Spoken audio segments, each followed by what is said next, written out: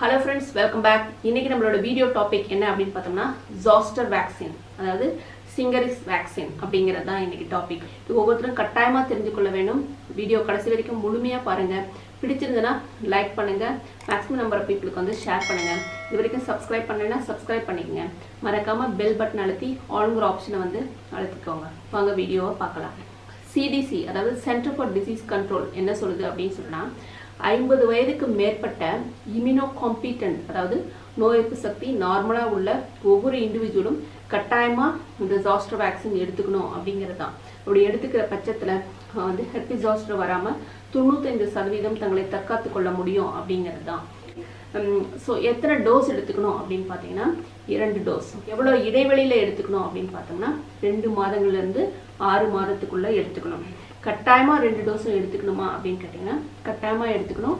அப்போ தான் நமக்கு வந்து இந்த தொண்ணூத்தைந்து சதவீதம் ப்ரொடெக்ஷன் வந்து கிடைக்கும் அப்படின்னு வந்து சொல்லப்படுது. எங்கே இந்த ஊசியை போடலாம் அப்படின்னு பார்த்தீங்கன்னா இன்ட்ராமஸ்குலர் அதாவது டெல்டாய்ட் ரீஜன் தான் போடணும் அப்படின்னு சொல்லப்பட்டிருக்கு. இந்த தடுப்பூசி வந்து ரெண்டு காம்போனண்ட் இருக்கும். ரெண்டு வயர்ஸ் இருக்கும் அதில். ஒன்று வந்து லைஃப் லைஸ்ட் அதாவது பவுடர் ஃபார்மில் இருக்கும். இன்னொன்று வந்து அட்ஜுவன் சொல்யூஷன் இருக்கும். ஓகே இது ரெண்டையும் வந்து டூ டு ஃபோர் டிகிரி இருக்கிற இதில் வந்து ஸ்டோர் பண்ணோம் அப்படின்னு சொல்லப்படுது.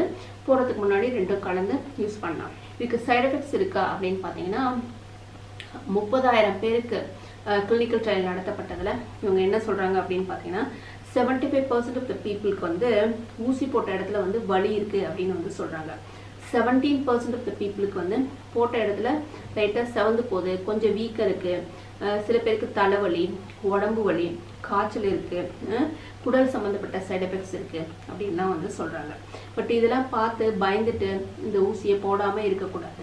இது எல்லாமே செல்ஃப் லிமிட்டிங் தான் அப்படின்னு சொல்லப்படுது. அதாவது அதுவாகவே ரெண்டு மூணு நாளில் சரியாயிடும் அப்படிங்கிறது. அவ்வளோதான் இந்த வேக்சினை பற்றி இந்த SASTRA vaccine very important to know thanks for your time bye bye take care மீண்டும் நம்ம அடுத்த வீடியோவில் சந்திக்கலாம்.